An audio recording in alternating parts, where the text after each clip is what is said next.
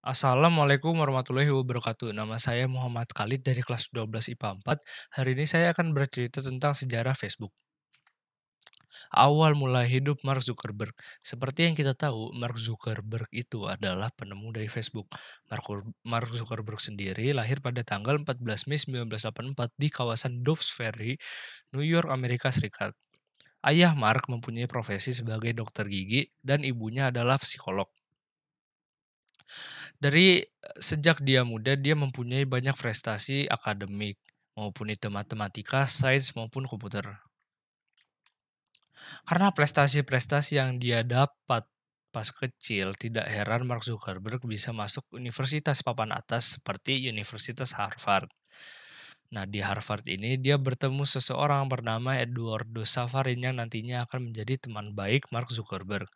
Eduardo Safarin ini untuk sekedar info adalah teman asramanya Mark Zuckerberg. Mereka satu asrama. Munculnya ide. Ide Facebook sendiri berasal dari atlet kayak kembar dari Universitas Harvard yang bernama Winklevoss bersaudara. Winklevoss bersaudara ini aslinya adalah pencetus ide dan mereka itu aslinya pengen membuat media sosial di mana orang-orang bisa berinteraksi satu sama lain. Tetapi karena mereka tidak tahu apa-apa soal coding, yaitu wajar karena mereka itu orang atlet gitu. Mereka meminta tolong Mark Zuckerberg untuk membuat media sosial. Nah, media sosial itu rencananya ingin dibentuk Mark Zuckerberg bersama Winklevoss bersaudara.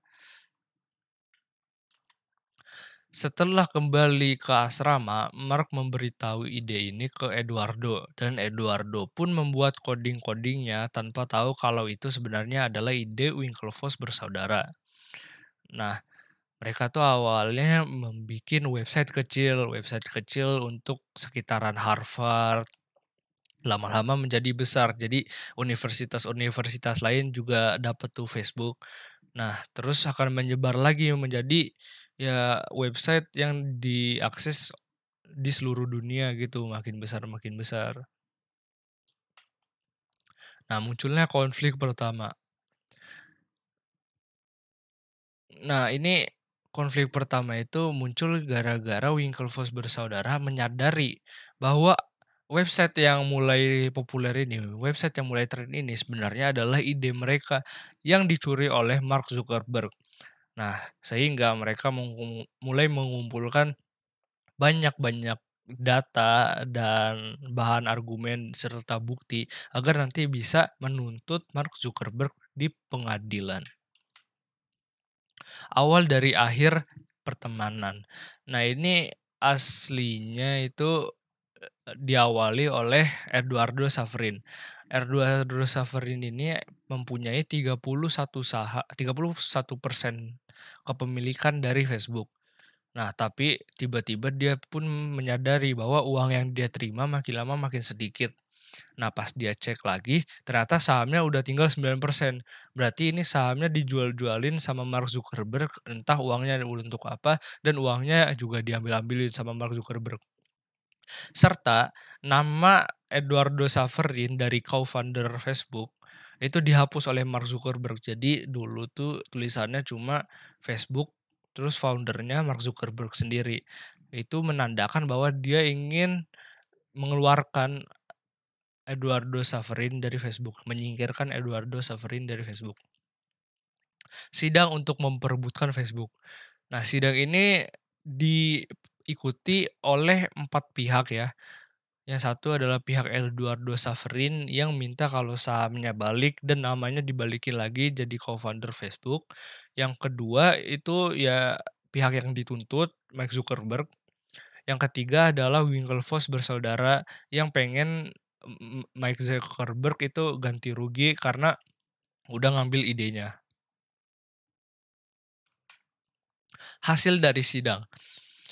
Ya hasil dari sidang ini bisa diuntung eh, bisa dibilang menguntungkan bagi tiga pihak ya, karena Mark Zuckerberg ya masih memiliki Facebook, Eduardo Saverin itu sahamnya balik lagi, dia mendapat sahamnya kembali 31% dan namanya ditetapkan lagi menjadi co-founder Facebook. Sementara Winklevoss bersaudara mendapatkan 20 juta dolar cash dan 65 juta dolar dalam bentuk saham kepemilikan Facebook. Nah, dari 20 juta cash tadi, 13 juta dipakai untuk investasi Bitcoin uh, untuk masa depan gitu dan bisa kita lihat sekarang Bitcoin harganya makin naik dan mereka itu dibilang-bilang sebagai the first Bitcoin billionaire. Jadi miliarder pertama dari Bitcoin atau ya miliar kayak gitulah triliarder mungkin. Nasib Mark Zuckerberg dan Facebook.